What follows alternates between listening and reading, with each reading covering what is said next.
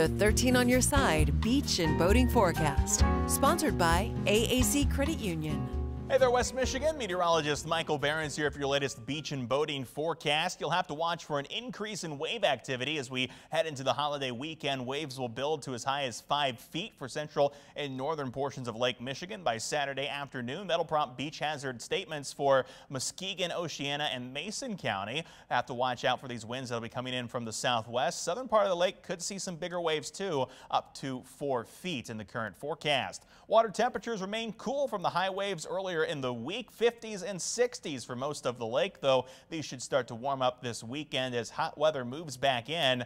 Not too hot tomorrow, but it should be a fairly cloudy beach day, partly to mostly cloudy with a small sprinkle chance, humid with onshore temperatures in the 70s and 80s. Of course, you can find the full forecast. That'll be online at 13onyourside.com slash weather or by downloading our news and weather apps.